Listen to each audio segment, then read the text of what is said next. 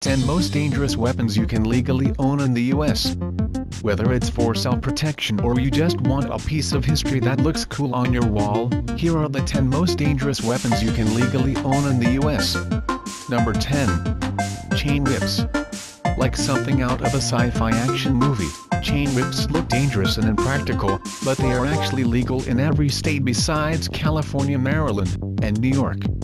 Make sure you aren't hit with one of these. With their serrated edge, they can create huge gashes and can slice through a watermelon with ease. Seriously, these are probably more dangerous to people who are learning to use one than to anyone else.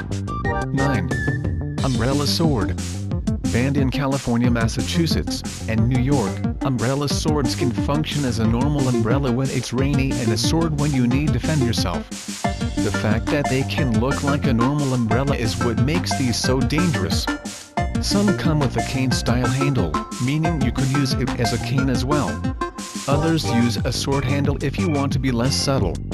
The sword is usually a thin rapier that unsheaths from the umbrella bit. 8. Flamethrower. If you don't live in California or Maryland, you can legally own your very own flamethrower. Once used in trench warfare during World War I and World War II, these high-power incendiary devices are now used by civilians to melt snowy driveways, get rid of unwanted foliage, and start fires. They aren't practical in today's battlefield due to their heavy weight, short range, and low fuel capacity. Maybe you've seen this Iron Man-inspired flamethrower glove. Please don't try this at home. 7. Grenade Launcher You can own your very own grenade launcher in the United States, but finding actual grenades to launch will prove difficult as they are illegal.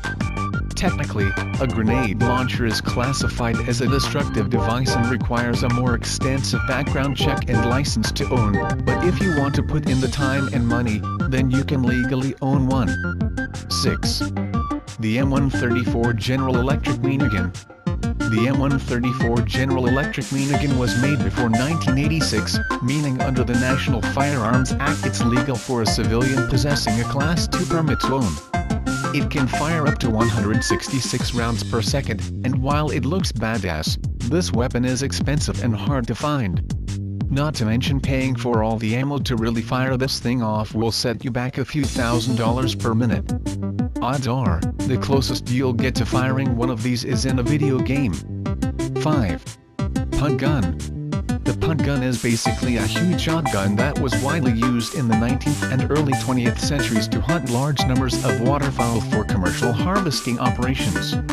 While these weapons were often custom-made and thus vary widely in their size, their bore diameters often exceeded 2 inches 51 millimeters and they fired over a pound of shot at a time the strange offspring of a cannon and a shotgun. Punt guns were often mounted to a boat as the recoil would probably kill someone who tried to fire it unmounted. A single shot from a punt gun could kill over 50 birds. While a punt gun is rare to find, they are more or less legal depending on how old they are. 4. Sniper Rifle While not super popular in the home, these weapons seem to be very popular in video games like Call of Duty and Destiny. The fact that this gun can kill over long distances is what makes it dangerous. A .50 caliber Barrett sniper rifle can hit a target from about a mile away. You won't find these available in New York, New Jersey, Connecticut, Massachusetts, Maryland, Connecticut or California. 3. A tank. This guy totally bought a tank and is getting grief from the HOA because he parks it right outside his house. If you've got the money to throw down on something like this, then more power to you. Luckily, you probably won't see one merging into your lane during the morning commute. While you can't buy an armed tank, even without its weapons it can still do some intense damage.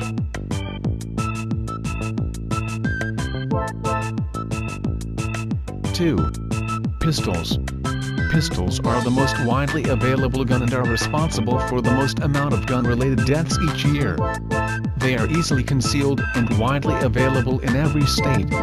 While the firepower these things pack may not be as big as the previous weapons, pistols are most dangerous in the hands of those who haven't received proper training.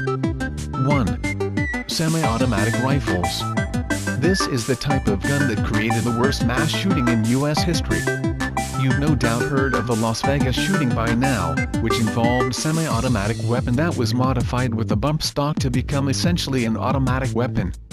The ability to shoot massive amounts of bullets in a short time, as well as the availability of these weapons, makes this the most dangerous legal weapon on our list. What do you think? Is there an even more dangerous legal weapon out there that's not on our list? Let us know in the comments below.